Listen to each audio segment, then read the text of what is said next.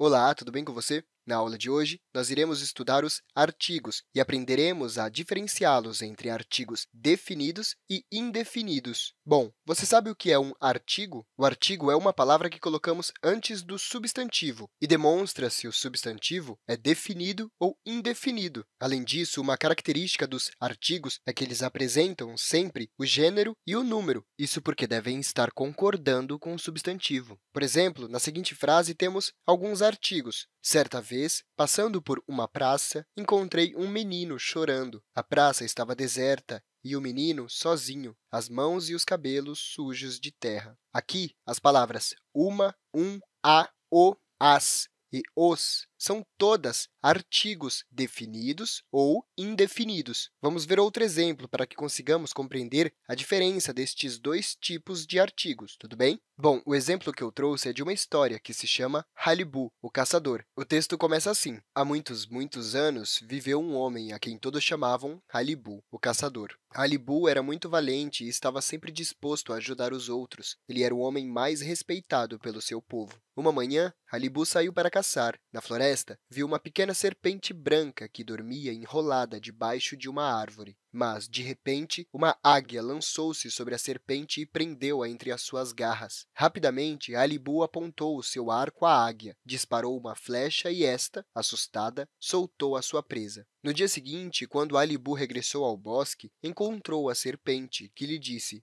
Sou a filha do rei dragão. Como me salvaste a vida, o meu pai quer agradecer-te. Não aceites nada do que ele te quiser oferecer, mas pede-lhe a pedra de jade que ele tem na boca. Bom, a história continua, mas este trecho basta para nós para que possamos identificar alguns artigos. Logo no começo, temos algumas palavras que podemos usar de exemplo, como a palavra um, que vem logo antes do substantivo homem. Este artigo é um artigo indefinido. Logo depois, temos a palavra o, que vem antes da palavra caçador. Aqui, temos um artigo definido. Logo depois, temos o trecho uma manhã, onde temos outro artigo indefinido com a palavra uma, que, neste caso, é uma palavra no feminino. Se continuarmos lendo e demarcando, conseguiremos encontrar vários outros artigos, como, por exemplo, no trecho uma árvore, uma águia, a serpente, que temos o a como um artigo definido no feminino. Temos também em uma flecha mais um artigo, e também em a filha do rei dragão, com outro artigo na palavra.